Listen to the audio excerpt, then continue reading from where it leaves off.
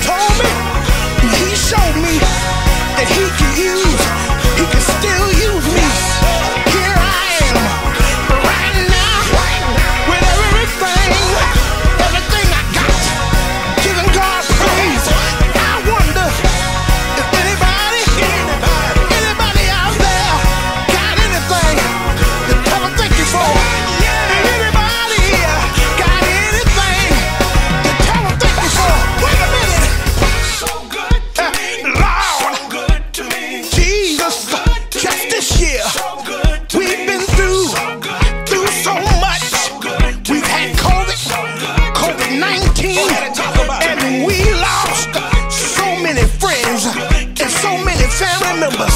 But let me tell you, God is still.